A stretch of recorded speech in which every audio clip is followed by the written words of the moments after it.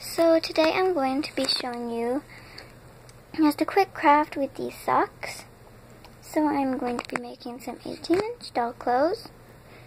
And so I have this pair of socks and I thought like this top part would be perfect to make some sweaters for Dave and John. So now let's get started.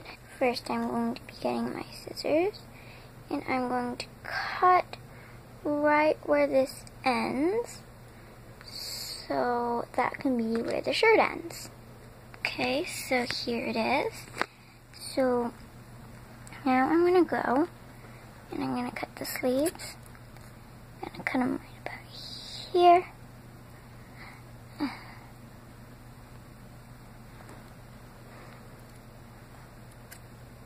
And then here.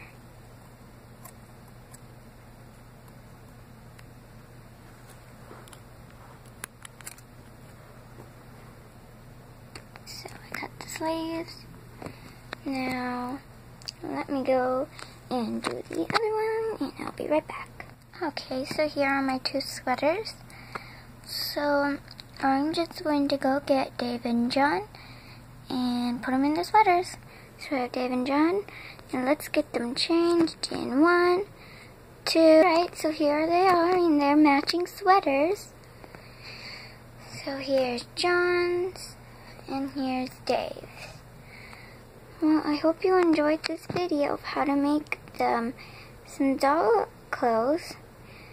No sew. well, bye.